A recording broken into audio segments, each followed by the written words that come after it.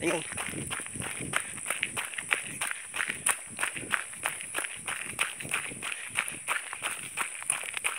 The uh, the tide's going out of his high tide.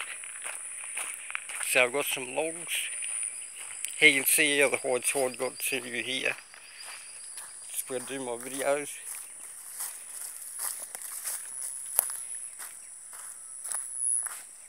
There you can see the high tide.